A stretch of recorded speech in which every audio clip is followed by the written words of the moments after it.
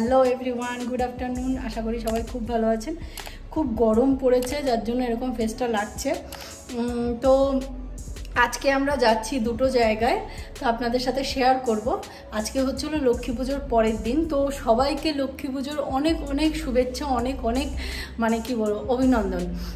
তো আজকে একজন, একজনের বাড়িতে যাচ্ছি, লক্ষ্মী পূজার প্রসাদ খেতে। আর অলরেডি কিন্তু আমার বাড়িতে প্রসাদ চলে এসছে, তা আমি দেখাচ্ছি। এটা ঝুম্পার অলকেশ দিয়েছে। ঝুম্পার বাড়ির সব কিছু এগুলো। ঝুম্পার বাড়ির পুজোর প্রসাদ।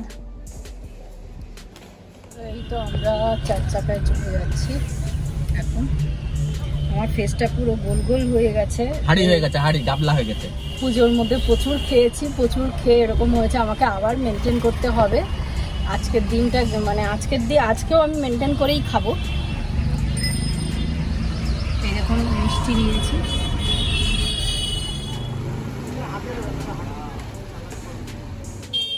তো দেখুন, চলে এসেছি অলমোস্ট রিনা ম্যাডামের বাড়িতে। রিনা দে।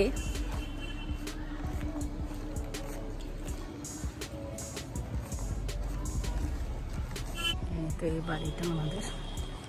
এর আগেও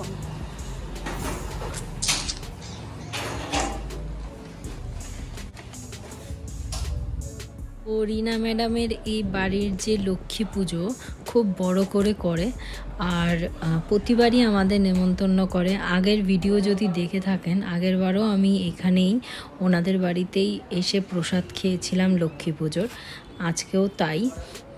তো ওনার প্রসাদ সবসময় মানে আমরা খুব মজা করে খাই এবং ওনার বিভিন্ন আইটেম আছে খুব মানে সিগনেচার আইটেম যেগুলো কিন্তু প্রতিবারই আমি টেস্ট করি। প্রসাদে কিন্তু আমাদের হার্বাল লাইফের শেক এবং অ্যাফ্রেশও আছে। তো অনেক কিছু আমাদের জন্য আয়োজন করেছিল। তো দেখতেই পাচ্ছেন একদম সুন্দর করে সাজিয়ে গুছিয়ে দিয়েছে রিনা ম্যাডাম। তো ওনাকে ফোন করে আমি বলেছিলাম যে কোনো আয়োজন করতে না, শুধুমাত্র নাড়ু খেয়ে চলে আসব। বাট যে দেখে এত কিছু আয়োজন করেছে আমাদের জন্য, আমি এক এক করে বলছি কি কি ছিল।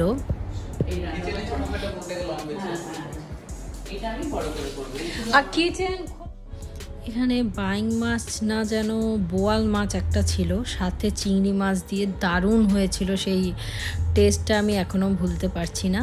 তো দারুণ টেস্ট হয়েছিল, আর সাথে চিকেন ছিল, আর অনেকগুলো আইটেম ছিল, কারণ এখানে অনেক আইটেম আছে যেগুলো আমাকে, আমাদেরকে পরে দিয়েছিল, অনেকগুলো আইটেম এখানে নেই। যেগুলো আমাদেরকে পরে দিয়েছিল। তো ওগুলো প্লেটের ভেতর দিয়েছিল দুর্দান্ত এক একটা আইটেম হচ্ছে এই যে গিফট হার্বাল এই যে হার্বাল লাইফ লেখা এই যে মানে লোক উপরে বাপরে এইটা পেলে মনে হয় আমি সব থেকে খুব মানে লাকি আমি বলছি আমার গাটাও সেগুলো উঠছে মানে এইটা পেলে আমার মনে হয় আমি সব থেকে বেশি খুশি আমার কিছু চাই হার্বাল থেকে এই যে পাওয়া এই জিনিসগুলো ও মাই গড মানে এটা Oh যখন. ও সত্যি ভাবতেই পারে কি কেমন লাগবে?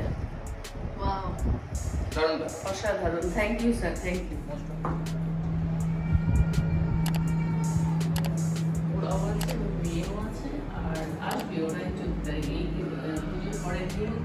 minimum পনেরো জন প্রত্যেক বছর। সবাই মিলে ফ্যামিলির লোকরা আসবে সব আমি রান্না করব।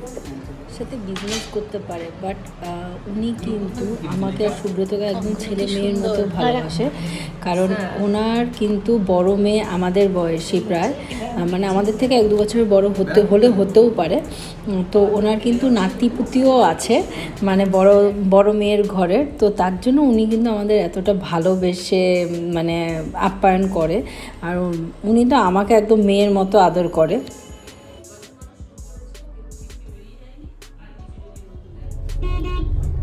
আমার টিপ খুলে পড়ে গেছে।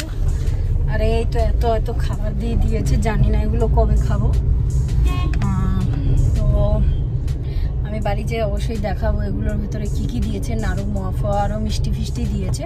খালি ছবি দেখালে হবে অডিয়েন্সকে কিছু খেতে দাও অডিয়েন্সকে তো কিছু খেতে দাও না তুমি। হয়তো অডিয়েন্সকে খেতে দিতে বলছে।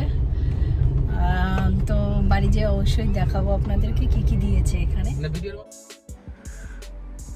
তারপর ধীরে ধীরে বাড়ি ঢুকে গেলাম। প্রসাদ নিয়ে রিনা ম্যাডামের বাড়িতে অনেকক্ষণ আড্ডা দিয়ে ওনার সাথে গল্প গুজব করে কিছু বিজনেসের কথা হয়েছে। অনেক বিজনেস নিয়ে ডিসকাস হয়েছে। তারপর বাড়িতে ঢুকে গেলাম। দেখুন, এবার কিন্তু গাড়ি পার্ক করার জন্য একদম পার্কিংয়ে কিন্তু গাড়িটা নিয়ে চলে আসলো সুব্রত। তো তারপর বাড়ি ঢুকে গেছি। তো এগুলো রিনা ম্যাডাম দিয়ে দিয়েছে। সব এ টু জেড ওনার হাতের বানানো এগুলো।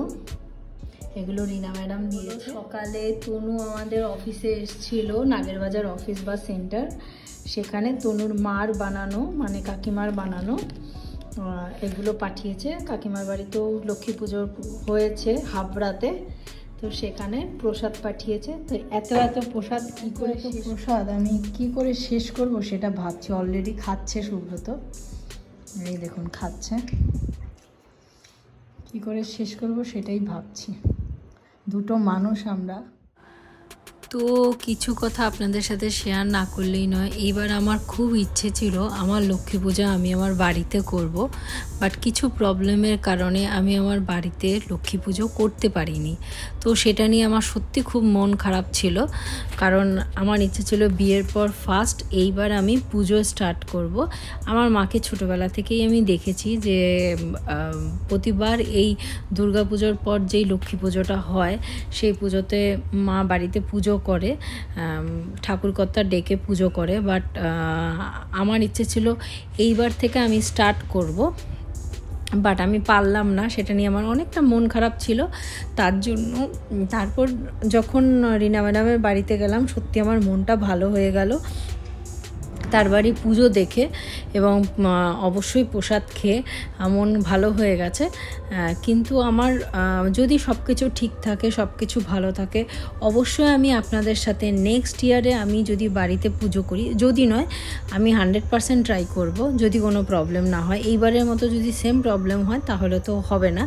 বাট যদি প্রবলেম না হয় হান্ড্রেড পারসেন্ট আমি আপনাদের সাথে শেয়ার করব যে আমার বাড়ির পুজো আমি কীভাবে করলাম। কারণ আমার খুব ইচ্ছে আমার বাড়ির লক্ষ্মী পুজো আমি নিজে করব, আমার বাড়িতে করব, লো মানে ঠাকুরকর্তা ডেকে খুব বড় করে করব। যেরকম আর কি মাকে দেখেছিলাম যজ্ঞ করে, তারপর লক্ষ্মী পুজো করে, তো সেই জিনিসগুলো আমারও খুব করার ইচ্ছে। দেখা যাক কি হয়। তো নেক্সট ব্লকে আবার আপনাদের সাথে দেখা হবে। আজকের আমার ব্লগটা কেমন লাগল অবশ্যই কমেন্টে সবাই বলবেন। তো আমার এই ভিডিওটা যদি আপনাদের ভালো লেগে থাকে, অবশ্যই লাইক কমেন্ট শেয়ার এবং সাবস্ক্রাইব করে আমাকে ইন্সপায়ার করবেন।